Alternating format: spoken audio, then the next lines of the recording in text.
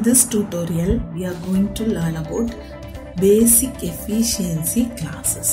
So basic efficiency ஒரு அல்கிரகத்தோட எஃபிஷியன்சியை நம்ம வந்து அனலைஸ் பண்ணணும்னா நம்ம என்னென்ன பேசிக் எஃபிஷியன்சி கிளாஸஸ் வந்து அவைலபிளாக இருக்குது அப்படின்னு சொல்லி நம்ம வந்து தெரிஞ்சுக்கணும் ஸோ இப்போ இந்த டியூட்டோரியலில் வந்து என்னென்ன பேசிக் எஃபிஷியன்சி கிளாஸஸ் வந்து அவைலபிளாக இருக்குது அப்படின்னு சொல்லி நம்ம வந்து பார்க்க ஸோ ஃபஸ்ட் வந்து கிளாஸ் ஸோ ஃபஸ்ட்டு வந்து ஃபஸ்ட்டு எஃபிஷியன்சி கிளாஸ் வந்து ஒன் ஸோ இதை வந்து நம்ம என்ன சொல்லுவோம்னா இதனோட நேம் எப்படி சொல்லுவோம்னா கான்ஸ்டன்ட்னு சொல்லுவோம்.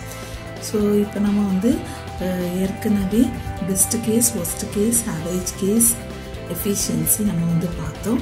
அதில் வந்து best case efficiency of linear search algorithm வந்து C N N is equal to one அப்படின்னு சொல்லி நம்ம வந்து பார்த்தோம். ஸோ அப்போ அந்த இடத்துல பெஸ்ட் கேஸ் எஃபிஷியன்சி வந்து நம்ம வந்து எப்போவுமே இந்த கிளாஸில் தான் நம்ம வந்து வரோம் அதான் ஒன் ஃபஸ்ட்டு கிளாஸ் வந்து ஒன் ஸோ இப்போ வந்து நெக்ஸ்ட் வந்து லாகின் ஸோ இந்த கிளாஸை வந்து என்ன சொல்லுவாங்கன்னா லாகர்தமிக் அப்படின்னு சொல்லி சொல்லுவாங்க.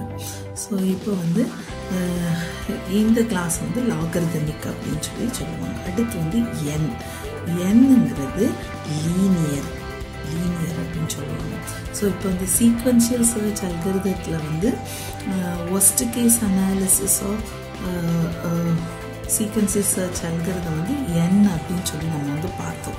C worst is equal to N so அந்த எஃபிஷியன்சியை வந்து நம்ம வந்து என்னன்னு சொல்கிறோம் ஸோ அதனோட கிளாஸ் வந்து belongs to this linear linear so அப்போ என்னன்னாலே அது வந்து லீனியர் நெக்ஸ்ட் வந்து N log N so N log என்னாலே ஸோ அது என்ன கிளாஸ்க்குள்ளே போகுதுன்னா N hyphen log hyphen so இந்த கிளாஸ் தான் இந்த என் லாகின்க்கு கிளாஸோட நேமும் வந்து என் லாகின் தான்.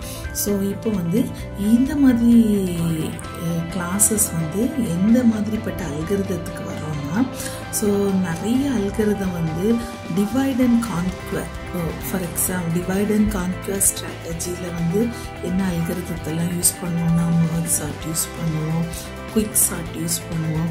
ஸோ இந்த ரெண்டு சார்ட்டிங்லேயும் ஆவரேஜ் கேஸ் அனாலிசிஸ் வந்து இந்த கேட்டகரி கீழே தான் வருது.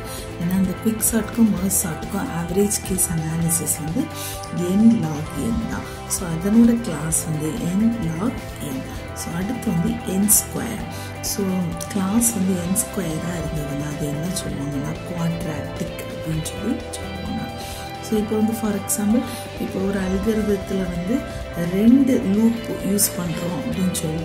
ஒரு லூப் வந்து இன்னொரு லூப்பை டிபெண்ட் ஆகி ரெண்டு லூப் நம்ம யூஸ் பண்ணியிருக்கோம்னா மேக்ஸிமம் அந்த அல்கிரதத்தோட எஃபிஷியன்சி டைம் எஃபிஷியன்சி வந்து கண்டிப்பாக இந்த குவாட்ராட்டிக் கிளாஸ்க்குள்ளே தான் இருக்கும். அதான் என் ஸ்கொயர் ஸோ இப்போ அடுத்து வந்து என் கியூப் என் கியூப்னா கியூபிக்னு சொல்லுவாங்க.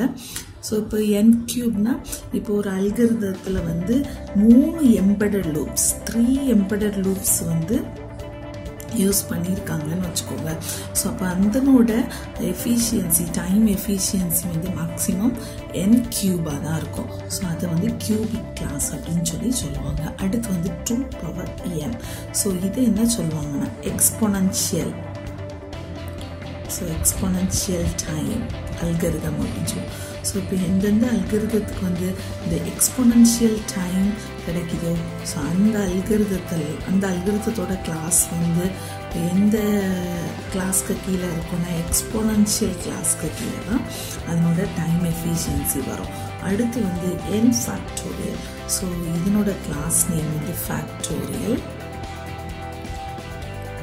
அப்போ டோட்டலாக எயிட் கிளாஸஸ் இருக்குது ஃபஸ்ட் வந்து ஒன்னாக இருந்ததுன்னா அது கான்ஸ்டன்ட் லாக் என்ன இருந்ததுன்னா லாகத்தமிக் என்ன இருந்ததுன்னா லீனியர் என் லாகன்னா இருந்ததுன்னா என் லாகன் அடுத்து என் ஸ்கொயராக இருந்ததுன்னா குவாட்ராட்டிக் என் கியூபாக இருந்ததுன்னா கியூபிக் டூ பவர் என்ன எக்ஸ்போனன்ஷியல் என் ஃபேக்டோரியல்னா ஃபேக்டோரியல் ஸோ இந்த கிளாஸஸ் வந்து இதை நம்ம எப்படி எழுதலாம்னா one less than log N less than N less than n log n less than N square less than N cube less than two power N less than with N factorial so இப்போ வந்து இப்படி இந்த classes வந்து அதனோட growth வந்து order of growth வந்து இப்படி தான் இருக்கும்.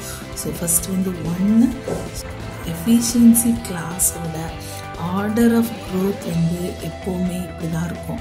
அப்படியே தான் இன்க்ரீஸ் ஆகிட்டே இருக்கும்.